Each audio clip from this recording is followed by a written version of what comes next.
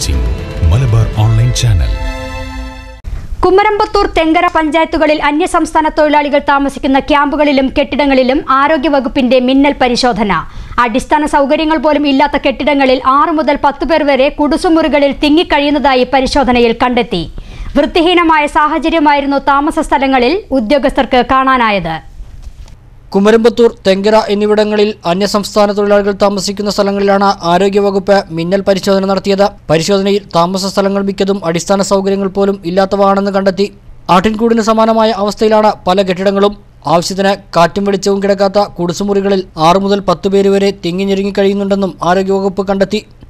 Thenkara check പോസ്റ്റിന് സമീപം തേനമൂച്ചി ഹംസയുടെ ഉടമസ്ഥതയിലുള്ള കെട്ടിടത്തിൽ നൂറ് ചതുരശ്ര അടിയിൽ താഴെ മാത്രം വിസ്തീർണമുള്ള മുറിയിൽ ഏഴ് പേരെ താമസിക്കുന്നതായി കണ്ടെത്തി. ഇങ്ങനെ തിങ്ങി ഞെരുങ്ങി കഴിയാൻ തന്നെ തൊഴിലാളികളിൽ നിന്നും അറുന്നൂറ് രൂപ മുതൽ ആയിരം രൂപ വരെ ഒരാളിൽ നിന്നും കെട്ടിട ഉടമകൾ വാടക ഈടാക്കുന്നുവെന്ന് തൊഴിലാളികൾ പറയുന്നു. മാത്രമല്ല താമസ സ്ഥലങ്ങൾ പലതും വൃത്തിഹീനമായ നിലയിലാണ് കിടന്നിരുന്നത്. Health inspector Toms Varghese Gopalakrishnan K. Suresh Ramaprasad ഡർണർ Manikandan എന്നിവർ നടത്തിയ പരിശോധനയിൽ തേനമൂച്ചി ഹംസ ബാലൻ മെഴുകമ്പാറ എന്നിവർക്ക് നോട്ടീസ് നൽകി നടപടി ആരംഭിച്ചു.